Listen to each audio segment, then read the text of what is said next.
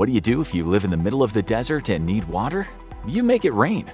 Scientists in Dubai can now literally modify their weather. This technology could change the world as we know it, but will controlling the weather be used for good or for evil? In July of 2021, the United Arab Emirates National Center of Meteorology released a video showing a rainstorm that had been created using weather-modifying technology. How did they make it rain in the desert, you might ask? Scientists in Dubai used high-powered lasers and other advanced technology that were mounted to drones to make the rain fall from the desert sky. It should come as no surprise that one of the world's wealthiest cities would need a lot of resources, and the fact that Dubai resides in the desert with no source of fresh water nearby means that H2O is a hot commodity, both literally and figuratively. The city of 3.4 million residents receives around 15 million tourists, but only about 4 inches of rainfall every year. In order to support its own population and the booming tourism industry, Dubai needs to import a lot of goods. This is especially true for food and water. Being in the desert with very little rainfall isn't just a problem for obtaining water, but without the vital resource, crops are hard to grow as well. So how does Dubai plan to overcome the problem? By making their own rain using drones. The weather isn't very kind in Dubai as the sandstorms can reach a speed of 62 miles per hour. This means tiny grains of sand are whipped against buildings and anyone stuck outside at the speed of a car driving on the highway. Also, since the land the city sits on is not solid rock, the engineers of Dubai have had to come up with some unique solutions to construction problems. In fact, the skyscrapers in the city are held up by more friction than by traditional methods of building into the bedrock. They've even terraformed the region by building a palm tree-shaped island that's covered with luxury homes and resorts. To construct the island, the United Arab Emirates dredged up enough sand from the seafloor to encircle the Earth three times. But regardless of how much terraforming or engineering is done in Dubai, water scarcity is the biggest problem of all. Yet, scientists have found a way to manifest clouds and rain using artificial means. Is this safe? We'll let you be the judge. In 2017, researchers at the University of Reading were awarded $1.5 million to fund their rain enhancement science, but that is nothing compared to the 15 million that the United Arab Emirates has invested in what they've called their quest to ensure water security. The University of Reading project to create more rain in Dubai used a mix of science, climate research, and drones. Rain is caused by the water vapor in the clouds condensing and forming droplets that are large enough to fall to the ground. The scientists in Dubai are causing this process to happen artificially.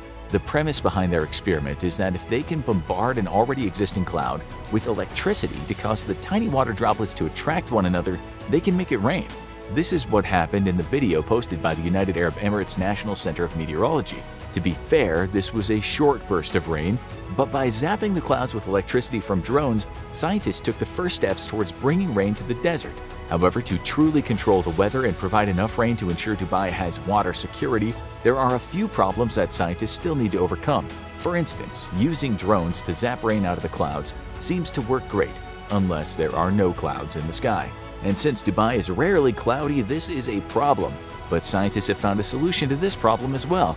If they can make their own clouds, then that's another part of the weather they can control. The crazy thing is researchers have found a way to do just this. However, the consequences it could have may be life-threatening. One simple but extremely expensive way for Dubai to generate its own clouds is by building a humongous artificial mountain outside of the city. This construction project would most likely cost hundreds of millions of dollars and take years to build. But in the end, the mountain could cause clouds to form. The way mountains influence rainfall is that when the air is blown toward the mountain, it forces the air molecules to ascend to higher altitudes. When the air rises, it cools and its volume decreases. This causes an increase in humidity and rain clouds to form. This is the natural phenomenon that has caused researchers in Dubai to toss around the idea of building a mountain to produce more clouds. Another more sophisticated approach is that the United Arab Emirates is looking into a process called cloud seeding.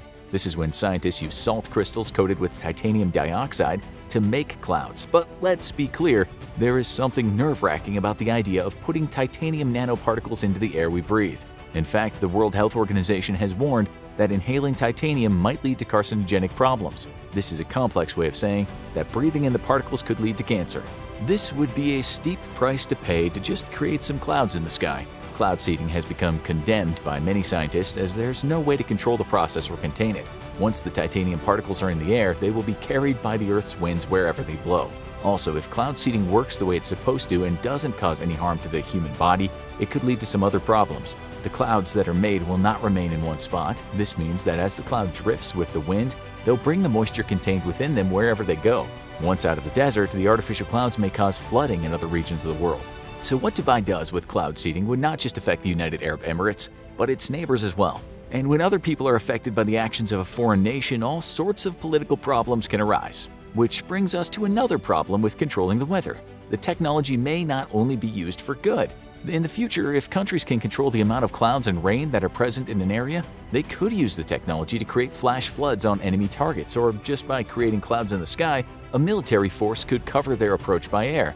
This obviously isn't what the technology being used to create rain and clouds is being developed for, but there is nothing to stop it from being used for alternative purposes if it falls into the wrong hands. And this is where just having the technology to alter the weather could be a problem.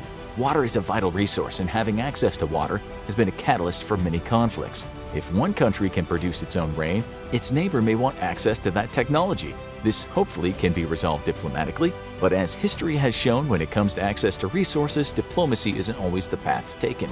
There is one specific instance where a war for water might ignite due to the technology that Dubai is using. If all of a sudden Dubai is swimming in fresh water falling from the skies, their neighbors may conclude that it's being stolen from them.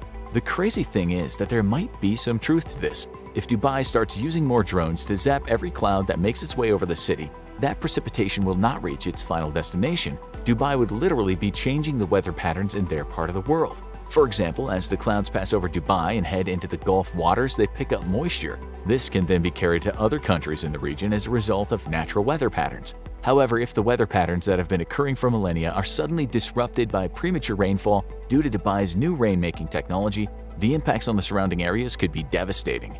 We cannot predict all the consequences of a country zapping their clouds with electricity to create rain, or what would happen to artificially made clouds that drift across the planet. But it is not out of the realm of possibility that as countries and peoples are starved of the water they so desperately need, they will look for the cause of their problems. In this case, Dubai might be to blame. This could lead to conflict over access to resources, which could eventually lead to an all-out war. The United Nations has set a ban on hostile use of environmental modification techniques for over 40 years. In an extreme scenario, Dubai might be breaking this agreement if it's found that by controlling their own weather, they're harming other people in the surrounding regions. The idea behind the current UN ban is to stop conflict before it happens, but they most likely did not plan on having to address a country creating its own clouds and rain when the ban was first introduced. It is unlikely that Dubai or any other country that could control the weather would use the technology to intentionally hurt a neighbor, but the inadvertent side effects of weather modification could definitely lead to conflict in the future. Then again, maybe this technology will only be used for good and to make the world a better place. In the future, an international organization could be set up to deploy drones and weather modification technology to areas of the world that need it most. Communities who are threatened by drought may be able to receive relief in the form of artificial clouds and rain. Or perhaps in areas where wildfires are raging, rain could be produced to help the firefighters get the blaze under control. The future of weather modification is both exciting and terrifying at the same time. But the United Arab Emirates is not the only country that's investing in this technology. Cloud seeding is already being experimented with in the United States. In the upper Colorado River Basin, several companies, such as Weather Modification Inc., are using silver iodide to produce more rain and snow in the region. This could be used for recreational purposes or to supply more water to crops and livestock. Weather control technology is here, and the world as a whole will need to keep an eye on it. We need to make sure it's equitable for everyone and that the side effects of weather modification are not harmful to the planet itself. But in the future, droughts and water scarcity may be a thing of the past, now check out How Rich Was the Richest Man That Ever Lived, or watch What If You Were at Hiroshima when the atomic bombs were dropped.